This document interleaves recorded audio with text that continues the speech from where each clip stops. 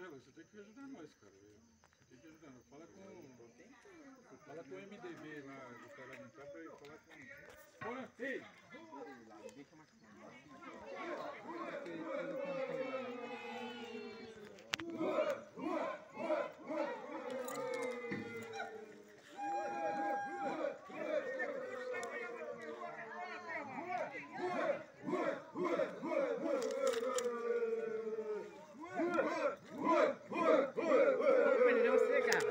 É. Então? Beleza. Tudo bom, beleza?